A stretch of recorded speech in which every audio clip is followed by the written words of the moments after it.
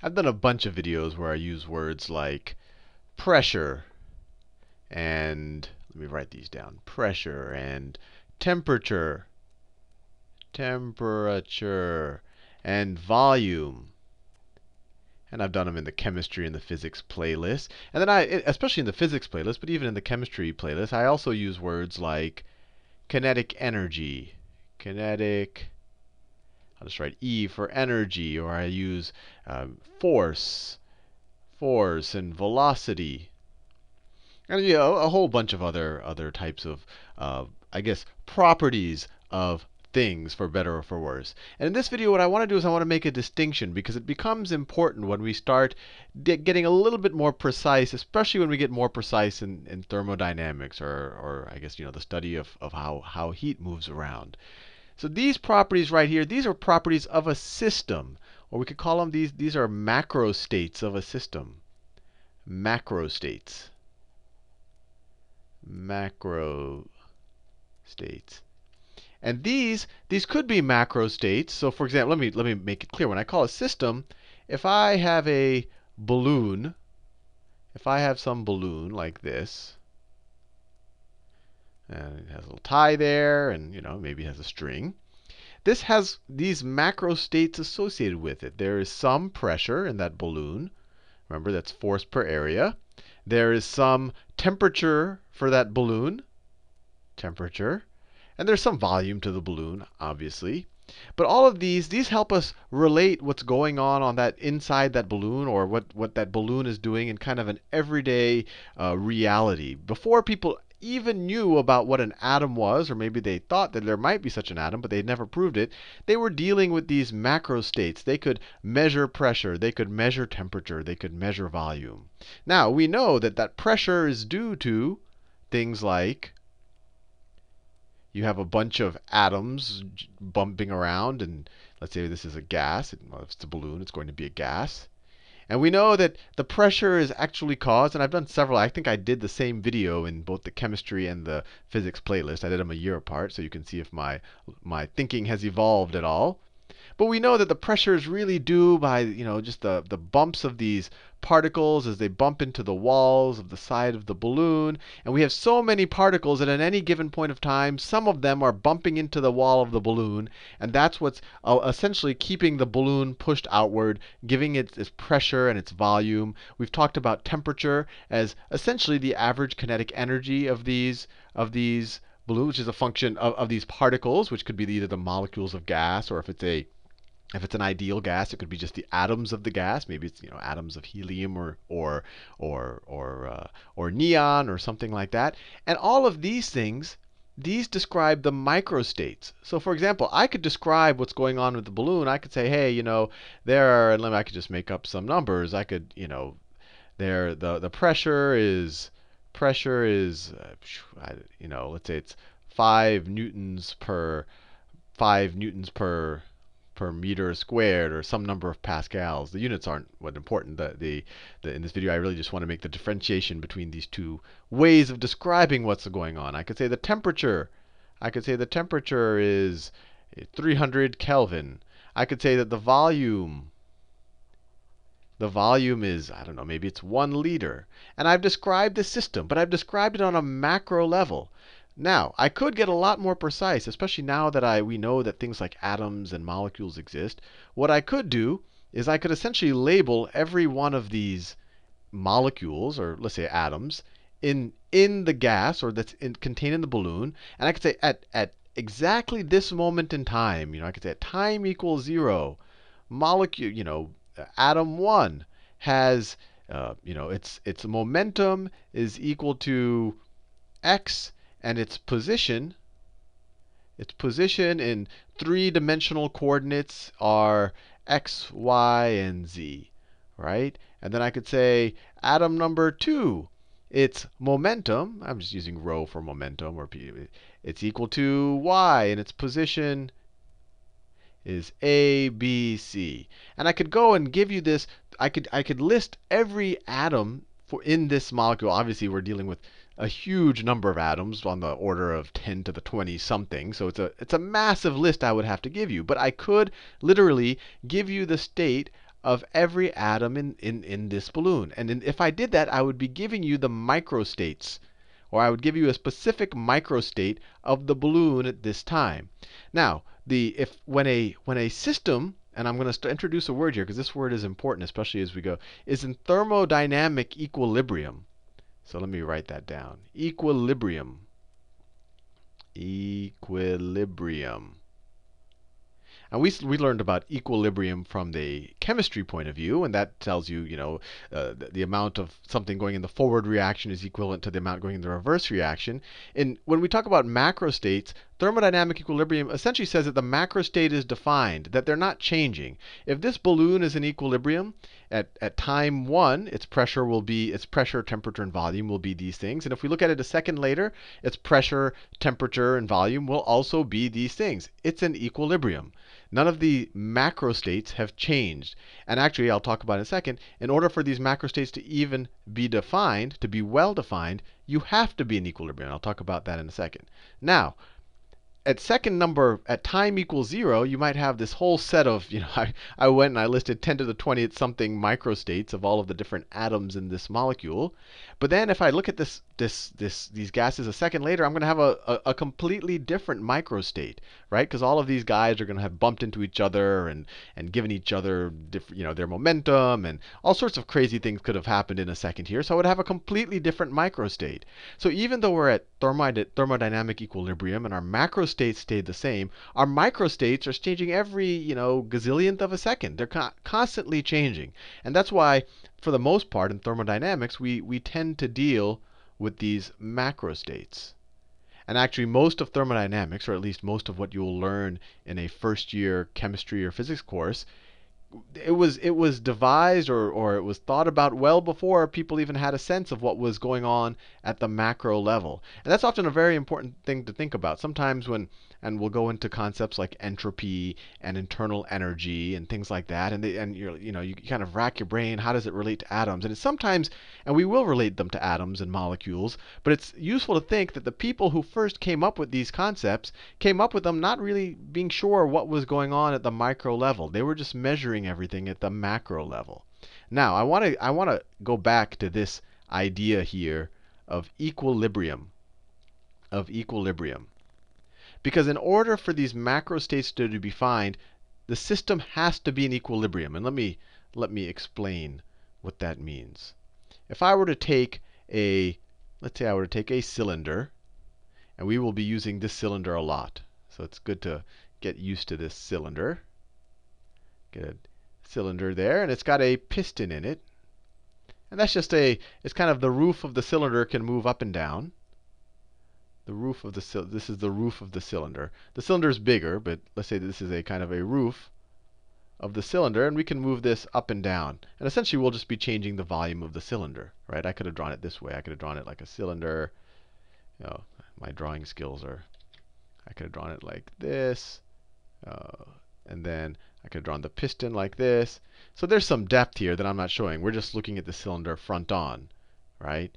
And so at any point in time, let's say the gas is between the cylinder and the floor of our container. You know, we have a bunch of molecules of gas here, a huge number of molecules. And let's say the we have a rock on the cylinder that essentially let's say we're doing this in space. So everything above the piston is a is a vacuum. Actually, let me just erase everything above. So let me just erase this stuff. Just so you see it. We're we're doing this in space and we're doing it in a vacuum. This, so let me write that down. So all of this stuff up here is a vacuum, which essentially says there's nothing there. There's no pressure from here. There's no particles here. just empty space. And in order to keep this, we know already, we've studied it multiple times, that this gas is generating, you know, things are bumping into into this the wall of this the, the floor of this piston all the time. They're bumping into everything right? We know that's continuously happening. So we need to apply some pressure to offset the pressure being generated the gas. Otherwise, the piston would just expand. It would just move up and the whole gas would expand. So let's just say we stick a big rock. We stick a big rock or a big weight on top. Let me do it in a different color.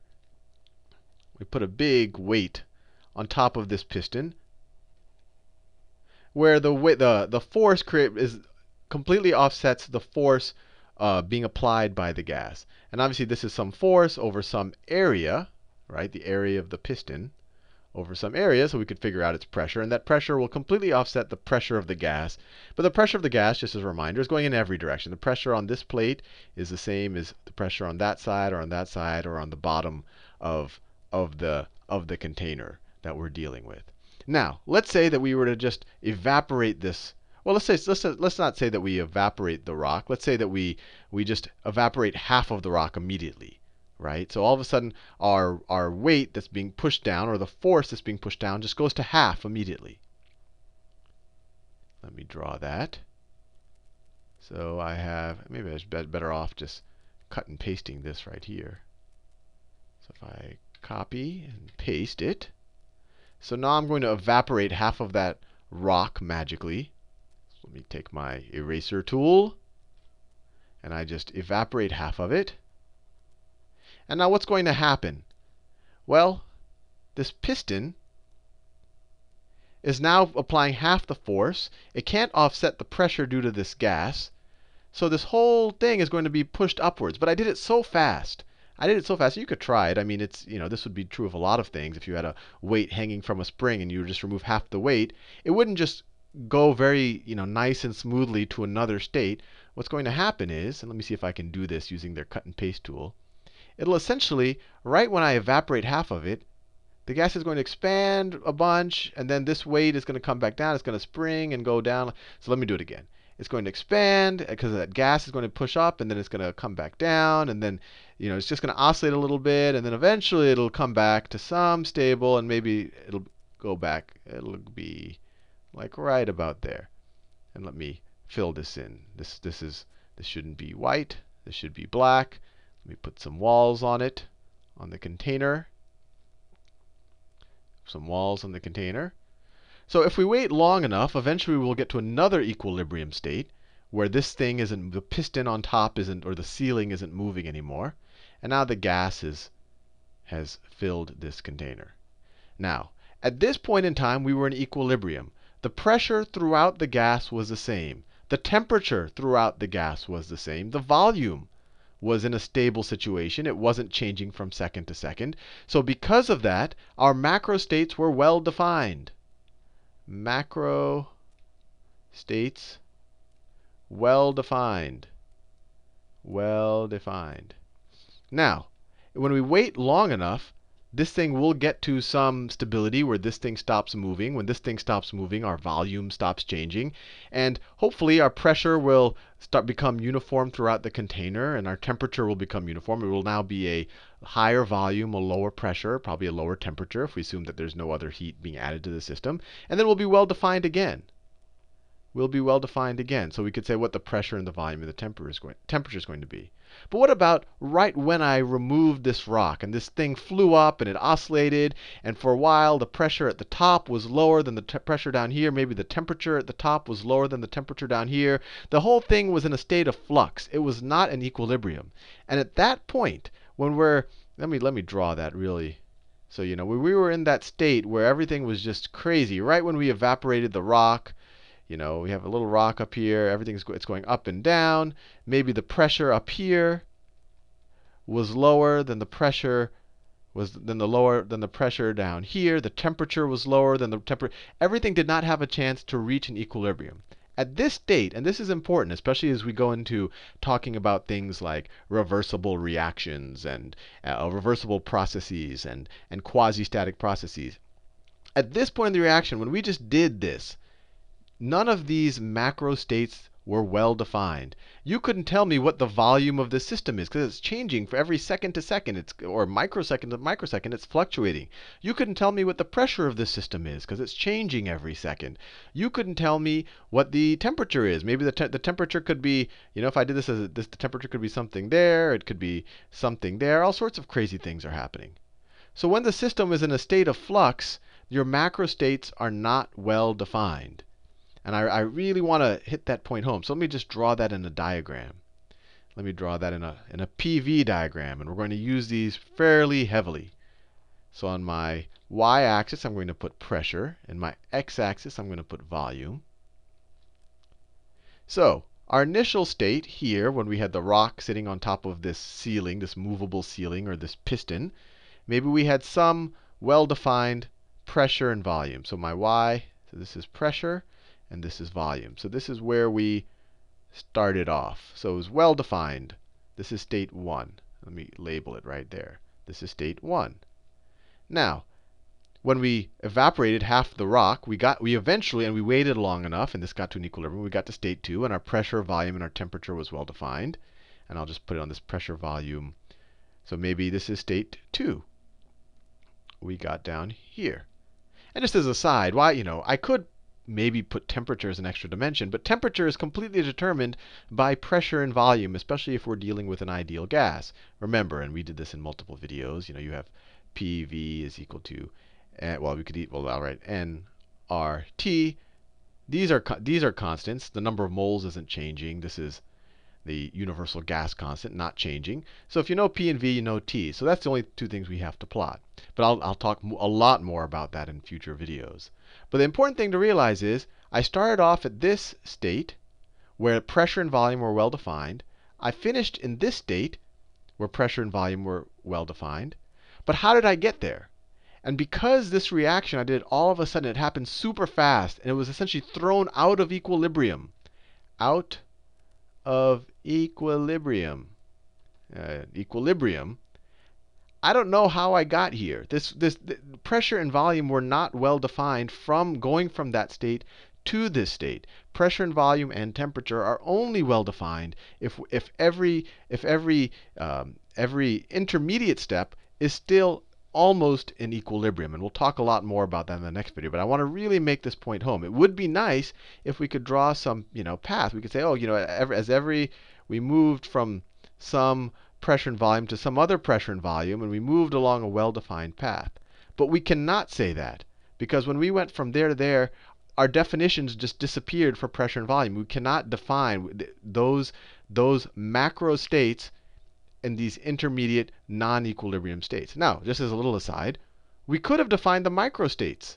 The microstates never change. At any given snapshot in time, I could have listed every particle that's in this thing, and I could have given you its kinetic energy, I could have given you its position, I could have given you its momentum, and there's no reason why I couldn't have done that. So I could have actually made a, you know, I could have made a plot of one particular particle, and I could have said what its kinetic energy and its over a course of time is at any given moment in time. And this is really important. So microstates are always well defined.